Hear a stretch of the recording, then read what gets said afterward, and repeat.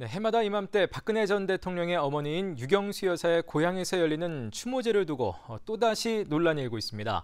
이번에는 옥천군이 지원하는 예산 때문인데요. 우상화다 아니다 아, 지역이 시끄럽습니다. 김대웅 기자가 자세히 보도합니다. 지난해 고 유경수 여사 숙모제 행사장. 친박단체와 진보 성향 단체가 충돌해 고성의 몸싸움이 오가는 아수라장이 됐습니다. 나를 사랑하는 게 아니라고. 옥천군도 알고 있었고 네. 무라원 유 여사의 고향인 옥천군에서는 서거일과 생일에 맞춰 해마다 두 차례 행사가 열렸습니다. 대통령 탄핵 이후 혈세 낭비 논란이 일자 옥천군 의회는 생일 예산 700만 원은 전액 삭감했습니다.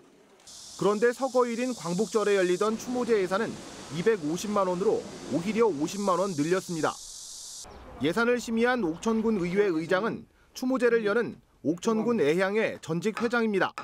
정치적인 이념을 떠나서 국모로서의 지역에 또 상징적이고 했기 때문에 저희들이 노동계와 시민사회단체는 추모제 예산 지원을 이해하기 어렵다는 입장. 일종의 우상화가 진행되고 있다는 겁니다. 추모제 하는 것에 대해서 저희들이 반대하고 싶은 마음은 없습니다. 국민 세금으로 그것을 추모제를 예산을 지원한다는 것 자체가 지금 문제가 있는 거죠. 유교사에 대한 옥천군의 지원은 이뿐이 아닙니다.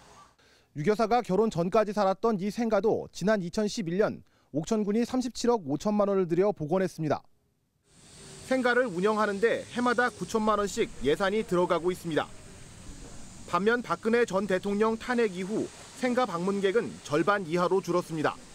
MBC 뉴스 김대웅입니다.